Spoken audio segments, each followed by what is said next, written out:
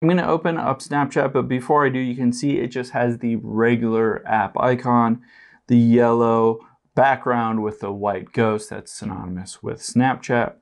Now I can tap on that and I'll tap on my profile icon at the very top left here. And then I'll tap on the gear at the top right. And you can see right under email is Snapchat Plus, and I can tap on that. And Snapchat Plus gives us the ability to change our icon. You can see at the bottom here is a seven day free trial. We can do this for seven days. We can cancel at any time in those seven days and we won't be charged. Or you can pay by month or by year. It's about 40 bucks a year. Now at the very top here, I can hit learn more.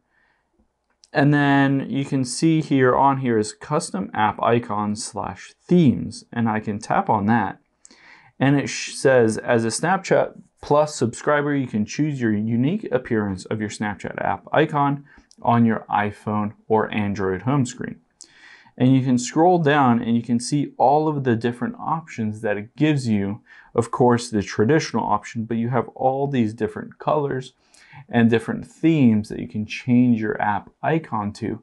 And this is just one of the packages or features that's involved with the Snapchat Plus subscription. So you can do this and you can change it and change it at any point that you want to all of these really cool features. Hope this helps. Thanks for your time today, and I'll see you on the next one.